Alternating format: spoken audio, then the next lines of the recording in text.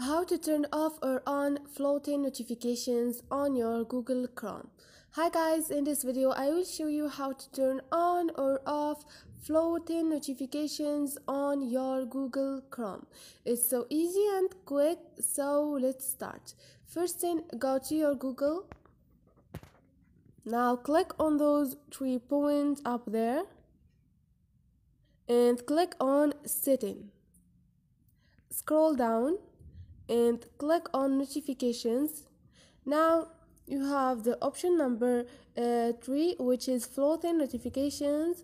Click and turn on or uh, or off this option and uh, you can if you turn on this option you're gonna allow floating notification on your google chrome and you choose whatever you want hope this video was helpful to you and if you liked the video don't forget to subscribe and like.